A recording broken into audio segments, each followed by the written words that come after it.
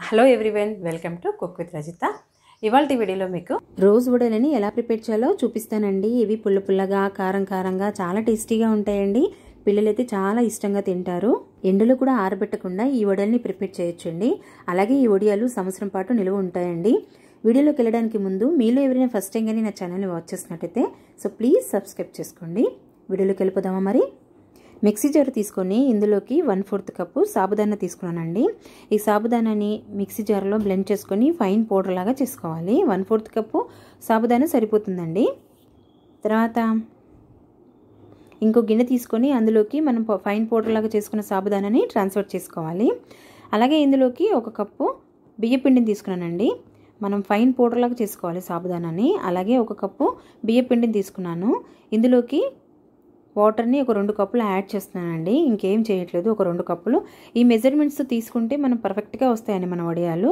So ఏ కప్పుతో అయితే మనము బియ్యపిండి తీసుకున్నామో ఆ కప్పు మెజర్మెంట్ పెట్టుకోండి. ఇప్పుడైతే నేను ఇక్కడ రెండు కప్పుల వాటర్ని యాడ్ చేశానండి. యాడ్ చేసి కలుపుకొని పక్కన పెట్టుకున్నాను. తర్వాత ఇంకో మిక్సీ జార్లోకి ఒక ఐదు టమాటోస్ తీసుకున్నానండి. టమాటో ప్యూరీ చేస్తున్నాను.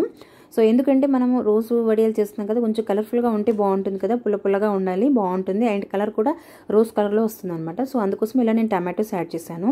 ఇక్కడ నాకు టమాటోస్ ఒక కప్పు పైన వన్ ఫోర్త్ కప్పు ప్యూరీ వచ్చిందండి ఇలా వేసేసుకోండి. తర్వాత మనము ఏదైతే వన్ ఫోర్త్ కప్ వచ్చిందో అందులోకి మనం మిక్సీ జార్లో కొద్దిగా వాటర్ యాడ్ చేసుకొని కొద్దిగా వన్ ఫోర్త్ కప్పు వాటర్ తగ్గించుకొని ఇలా కప్పు కంప్లీట్గా వాటర్ వేసేసేయండి. అంటే మనం ఒక కప్పు ప్యూరీ ఒక కప్పు వాటర్ టూ కప్స్ మనము ప్యూరీ వాటర్ వేసాము. తర్వాత ఇందో ఇంకో కప్పు నార్మల్ వాటర్ అంటే ఫోర్ కప్స్ టోటల్గా.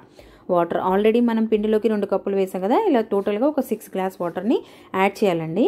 ఇలా ఒకసారి బాగా కలుపుకొని స్టవ్ ఆన్ చేసుకొని లో ఫ్లేమ్లో ఇలా కుక్ చేసుకోవాలి. ఒకసారి బాగా కలుపుకున్న తర్వాత ఇందులోకి కొద్దిగానే సాల్ట్ వేసుకోండి.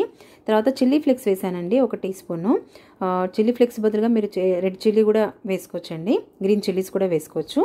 ఇలా ఒకసారి పొంగు వచ్చే వరకు ఇలా కలుపుకోవాలి. ఉప్పు ఎక్కువ వేసుకోకండి. వడియాలు ఏమవుతాయంటే కొంచెం డ్రై అయిన తర్వాత కొంచెం ఉప్పు ఉప్పుగా అవుతాయి. కొద్దిగా తక్కువనే వేసుకోండి ఉప్పు. ఇలా పొంగు వచ్చిన తర్వాత ఇందులోకి మనం ఇందాక కలుపుకున్నాం కదా బియ్యపిండి సాబుదానా ఒకసారి బాగా కలుపుకొని ఉండలు లేకుండా ఒకసారి బాగా కలుపుకొని కొద్ది కొద్దిగా యాడ్ చేయండి. కలుపుతూ యాడ్ చేయండి. లేకపోతే ఉండలు వచ్చేస్తుంది అనమాట ఇలా అంతా యాడ్ చేసేసిన తర్వాత కలుపుతూనే ఉండండి. లో ఫ్లేమ్లోనే కుక్ చేసుకోండి. లిక్విడ్ కన్సిస్టెన్సీలో ఉండొద్దండి. గట్టిగా అవ్వాలన్నమాట. మీకు చూపిస్తాను. టేస్ట్ అయితే సూపర్ ఉంటాయండి అవసరం ఉంటాయి. ఉప్పు చెప్పాను కదండి కొంచెం తక్కువనే వేసుకోండి. ఈ కన్సిస్టెన్సీలో ఉండాలండి ఉడికించుకోవాలి. ఒక ఐదు నిమిషాల్లో అయిపోతుంది. ఒక టూ త్రీ మినిట్స్లోనే వడియాలు అనేవి రెడీ అయిపోతాయి. చల్లబడిన తర్వాత చూపిస్తానండి ఎంత చల్లగా అయ్యాయి. కన్సిస్టెన్సీ కూడా కొంచెం గట్టిగా అయింది కదా. సో కవర్ పైన పెడుతున్నాను నేను. ఇంట్లోనే ఆరబెట్టుకోవచ్చండి ఇవి. ఇంట్లో అయితే ఒక టూ డేస్లో ఆరిపోతాయి. బయట బాల్కనీలో వేసాను కొంతమందికి ఎండవి తగలదు కదా అపార్ట్మెంట్లో ఉంటారు కదా అలాంటి వాళ్ళకి ఇలా ఈజీ చేసుకోవచ్చండి.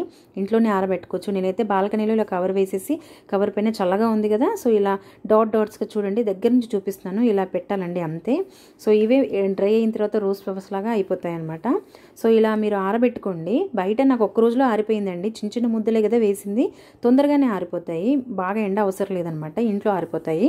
చూడండి ఒక్క రోజులోనే ఎంత బాగా పర్ఫెక్ట్గా ఆరిపోయాయో. ఇవి మనం వేయించుకున్న తర్వాత రోజ్ ఫ్లవర్లోకి వచ్చేస్తాయండి. పిల్లలు భలే ఇష్టంగా తింటారు. అలాగే సంవత్సరం పాటు నిలువ ఉంటాయండి. మీరు ఏదైనా బాక్స్లో ప్లాస్టిక్ డబ్బాలో వేసేసుకుంటే టేస్ట్ అయితే అవసరం ఉంటుందండి. ఏదైనా మీరు పప్పుచారులో కానీ ఏదైనా వెజిటేబుల్ కర్రీ వేసుకున్నప్పుడు సైడ్ డిష్లో కూడా వేసుకోవచ్చు. లేదా పిల్లలు ఎప్పుడైనా స్నాక్స్ అడిగినప్పుడు కూడా ఇలా వేయండి. చాలా టేస్టీగా ఉంటాయండి. క్రిస్పీ క్రిస్పీగా తిన్నాకొదే తింటూ ఉంటారు చిప్స్ లాగా. సో ఈ వీడియో కానీ నచ్చినట్టయితే ఒక లైక్ చేయండి. మీ ఫ్రెండ్స్ అండ్ ఫ్యామిలీ మెంబర్స్తో షేర్ చేసుకోండి. చూడండి ఎంత బాగున్నాయో. మీకు చూపిస్తాను ఎలా రోజ్ ఫ్లవర్ లాగా అయ్యిందనేది మనం ఇలా డాట్ డాట్స్గా పెట్టాం కదండి. అవి డ్రై ఎలా అవుతాయి అనమాట అంతేనండి. ఇన్స్టెంట్గా ఇలా మీరు రోజ్ వడియాలని రెడీ చేసుకోవచ్చండి. క్రిస్పీ క్రిస్పీగా చాలా టేస్టీగా ఉంటాయండి. Thanks for watching